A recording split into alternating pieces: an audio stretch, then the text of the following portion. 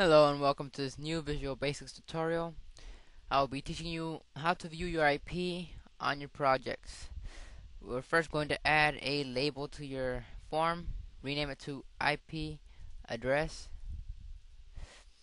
Then let's add a text box. Hold on, right there. Alright.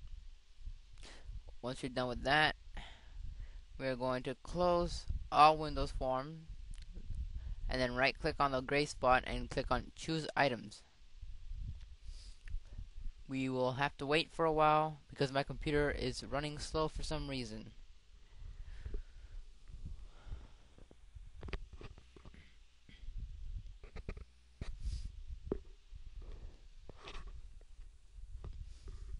Alright now we're gonna go to components and wait some more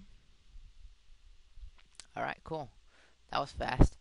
Alright, now we're going to look for Microsoft WinSock Control. Check it and then press OK.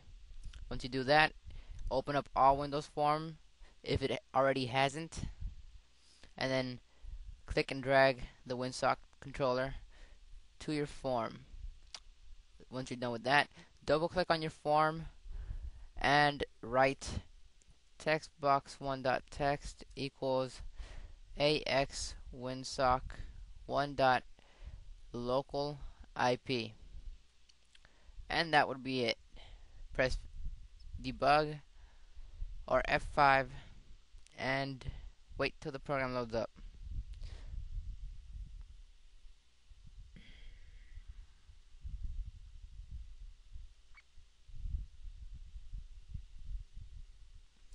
Alright, as you can see, my IP address shows up right here. Thank you for watching. Please subscribe, comment, and rate. Have a great day.